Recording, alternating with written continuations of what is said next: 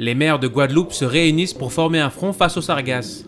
À l'initiative du maire de Goyave, ce sont des maires de différentes communes, accompagnés de leurs techniciens, qui se rencontraient à la salle de délibération de l'hôtel de ville de Goyave.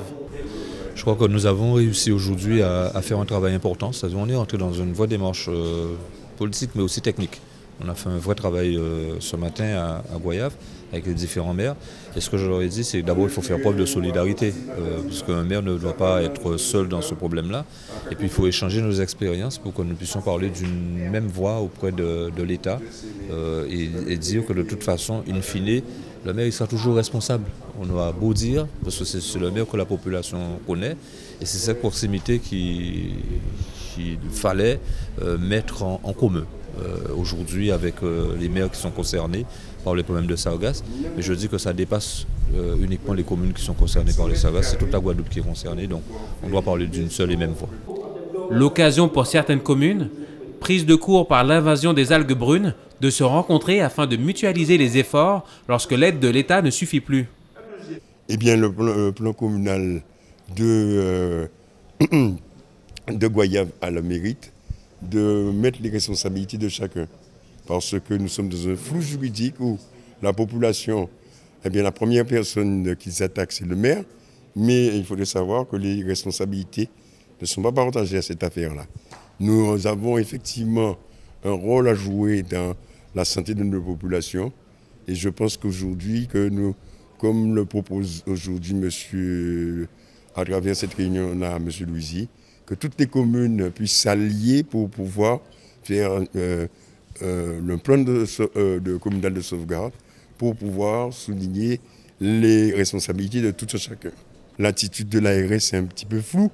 elle devrait déjà se faire valoir quant au risque de cette pollution sur la population, sur la santé de la population. Parce que quand il y a des problèmes sanitaires, que ce soit pour SIDA ou autre, on voit bien qui c'est qui est en première ligne. Aujourd'hui, il y a un problème sanitaire comme par le passé. Vous savez, on m'a toujours traité de tout quand euh, je parlais du chlordécone. Là, il y a sujet aussi finalement à ce que l'ARS prenne ses responsabilités. D'abord, je commence par saluer l'initiative du maire de Goyave, euh, M. Ferdi Louisy. Et puis, j'attends beaucoup parce que j'ai cru comprendre qu'il a pu trouver un financement pour acheter des matériels directement sans passer par euh, la communauté d'aglo ou une communauté de communes, ce qui est mon cas, que ça fait 14 mois que j'attends qu'une commande soit passée pour le matériel dont on a besoin à KPCR. Ça fait quand même 5 mois cette année-ci que je galère. Je vous assure que je suis au bout de l'épuisement. Et j'ai dû arrêter le ramassage depuis une semaine parce que je ne sais pas qui va payer l'addition. On est à 692 000 euros fin juillet. Et nous sommes, quelle date aujourd'hui? Le 13 août. Vous comprenez bien que je, y a un moment où on se dit, euh, bon, on a été lâché par l'État. Quand je dis lâché, bon, l'État a déjà fait quelque chose, a fait un geste, mais ce n'est pas suffisant.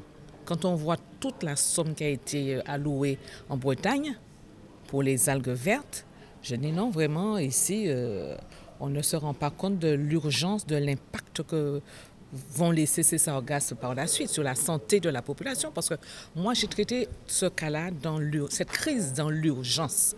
Il fallait faire vite. On n'avait pas le temps de faire un appel d'offres pour, euh, le ramassage. Donc, on a fait appel à des entreprises privées marie-galantaises. Et une seule a répondu, puisque nous sommes quand même sur une île. Les gens ne vont pas stocker des engins pour des événements qui se passent peut-être quatre mois dans une année. Pas du tout. Donc, il fallait traiter dans l'urgence. Et nous avons euh, fait appel à ces entreprises qui aujourd'hui, maintenant, demandent à être payées.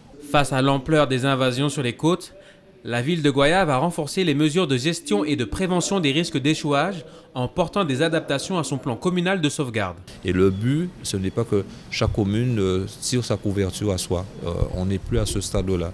C'est comme lorsqu'il y a un ouragan, un phénomène qui passe, ça touche toute la Guadeloupe, c'est tous les Guadeloupéens euh, qui doivent être solidaires et doivent être mobilisés.